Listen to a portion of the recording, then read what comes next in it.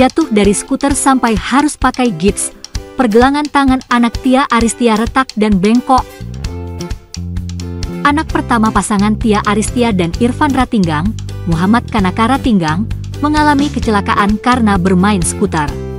Kanaka jatuh ketika menunggangi skuter plastik yang mengakibatkan tangannya retak dan bengkok. Mungkin aspalnya gak rata akhirnya dia jatuh.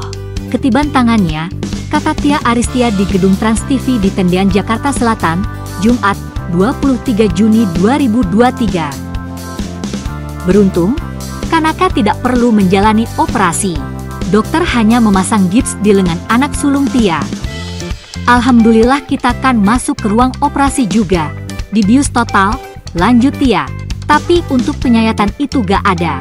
Jadi bener-bener cuma pasang gips dan yang bengkok itu dilurusin, karena anak kecil itu biasanya tulangnya masih lentur.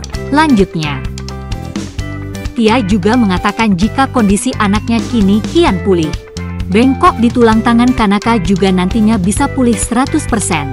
Itu karena memang bengkoknya gak sampai 30 derajat, jadi insya Allah kembalinya 100%. Tandasnya.